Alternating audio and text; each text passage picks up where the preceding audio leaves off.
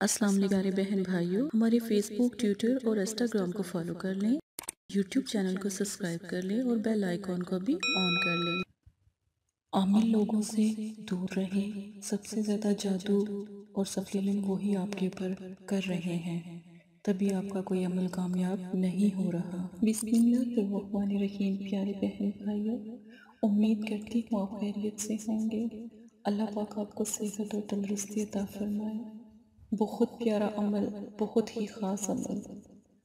इस अमल को करने से पहले एक छोटा सा पैगाम है। अगर आप मोबाइल पर रबता कर रहे हैं व्हाट्सएप पर तो बर मेहरबानी कॉल ना करें। अपनी बारी का इंतज़ार करें ताकि आपकी मदद की जा सके। हज़ारों की तादाद में लोग होते हैं, सभी को टाइम दिया जा रहा होता है। लेकिन जब आप कॉल करते हैं तो मदरसे वाले परेशान होते हैं। हम नमाज़ का टाइम भी होता है, बच्चों को पढ़ा भी रहे होते हैं। तो फिर आपकी मदद बताएँ कैसे करें? अगर आप कॉल करते हैं तो अल्लाह के घर की बेदबी होती है। तो बर मेहरबानी मदरसे में बार बार कॉल करके व्हाट्सएप पर तंग ना करें।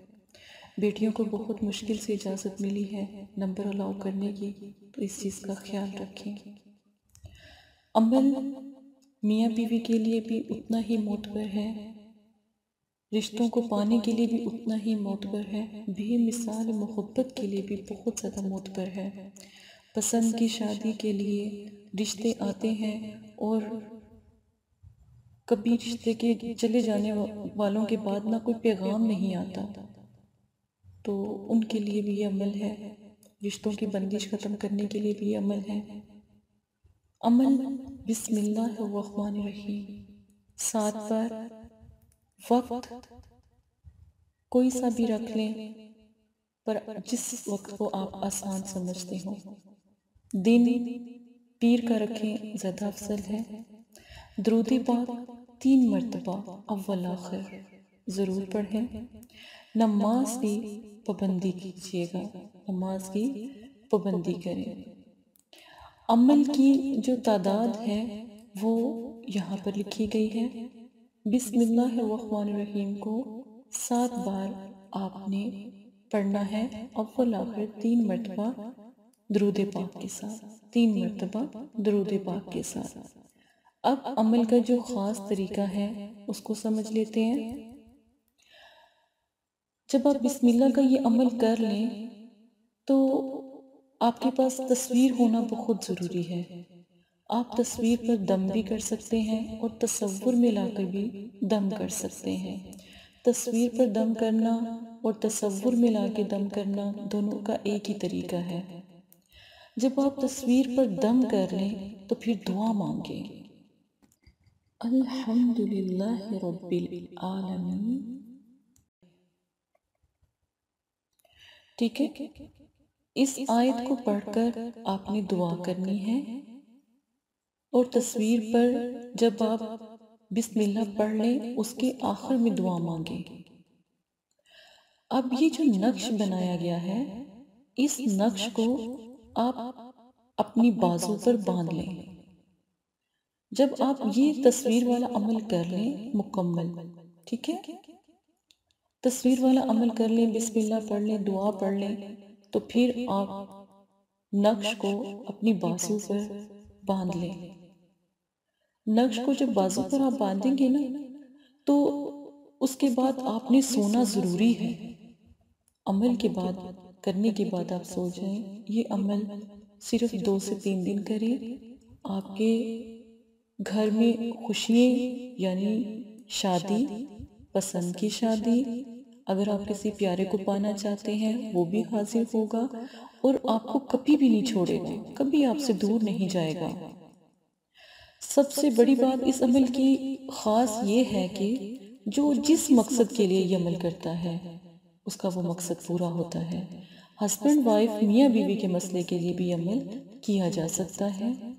नक्श को बाजू पर ज़रूर बांधना है, अपने साथ रखना है ताकि अमल कामयाब हो सके।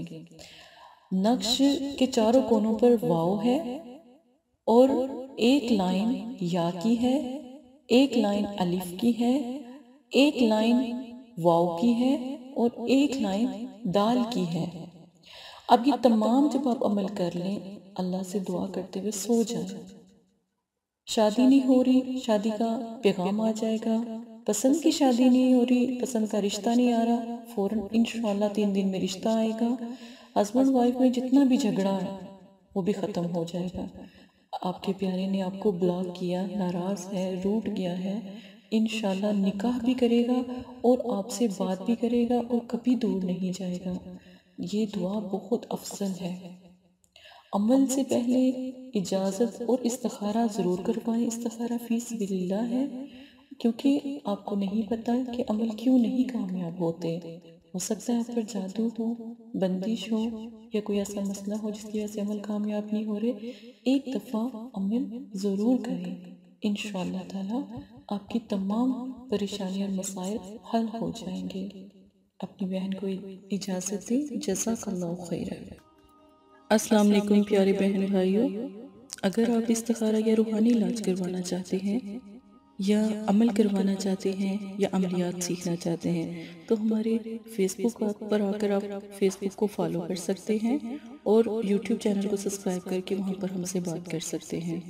जो भी मसला परेशानी है उसमें ज़रूरत आपका नाम आपकी वालदा का नाम सिटी कंट्री मौजूदा और मसला बयान।